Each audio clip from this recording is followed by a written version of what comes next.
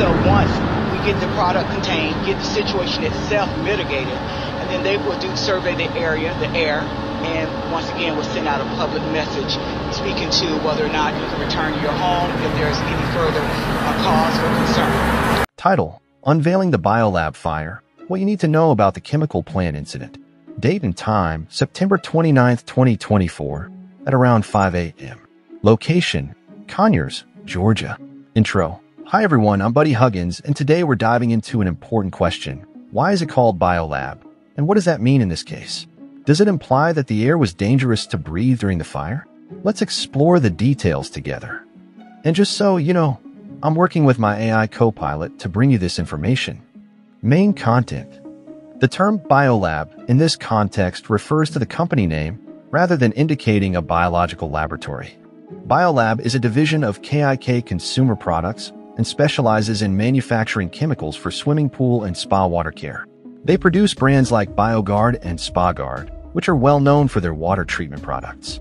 Why the name Biolab? The name Biolab might suggest a focus on biological or chemical products, but in this case, it primarily relates to their role in producing water treatment chemicals. The bio prefix can be misleading, as it doesn't necessarily mean the products are biological in nature. Health risks and safety concerns. The fire at the biolab plant involved chemicals that can be hazardous when released into the environment. Here are some key points. Chemical reactions. The fire was caused by a malfunctioning sprinkler head that mixed with a water-reactive chemical, leading to a significant chemical reaction. Toxic smoke. The fire produced large plumes of smoke, which can be dangerous to inhale. Residents were evacuated, and others were advised to shelter in place to avoid exposure to potentially toxic fumes.